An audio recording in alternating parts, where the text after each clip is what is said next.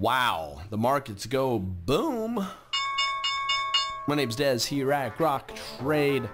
It's Wednesday, September 24th, 2014. And big pop here. We have the S&P up 0.78%, but still not above 2,000. The Dow up 154 points. Nasdaq up 1%. Huge technical run today.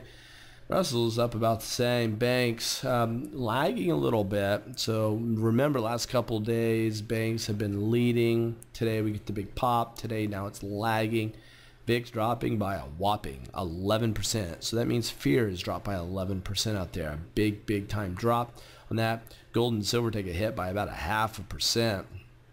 And here we are looking at the S&P 500. We had this rising wedge also on the MACD, a bearish divergence, and we broke down.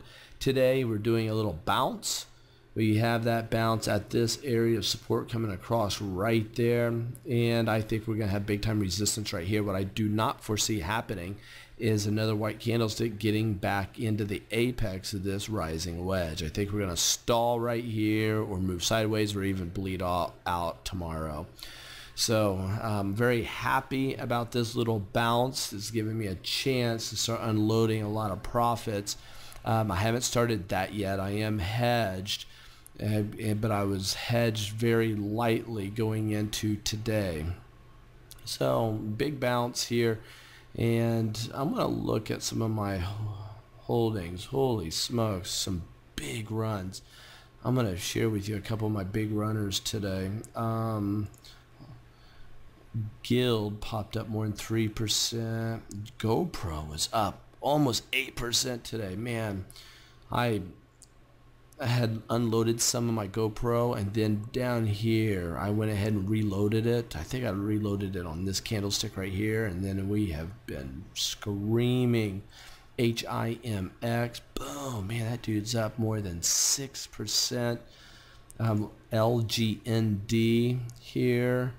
I have a order on this one. I was underwater. I think I bought in on this uh, hammer here on this next doji and the next candlestick and then it dropped today it popped so I need it to go up a little bit more here for me to feel good about it SWKS big pop today man up over 3.4% THRM starting to run. I'm really liking this low here, so I have some of that now. So a lot of different stocks. Um, Apple was down though, sideways move.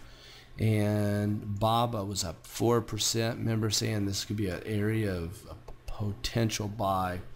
And sure enough, we got a bounce closing at the day's high. Look for more upside potential on Baba if the markets continue strong. Google's up more than 1%. Uh, GoPro again up almost 8%.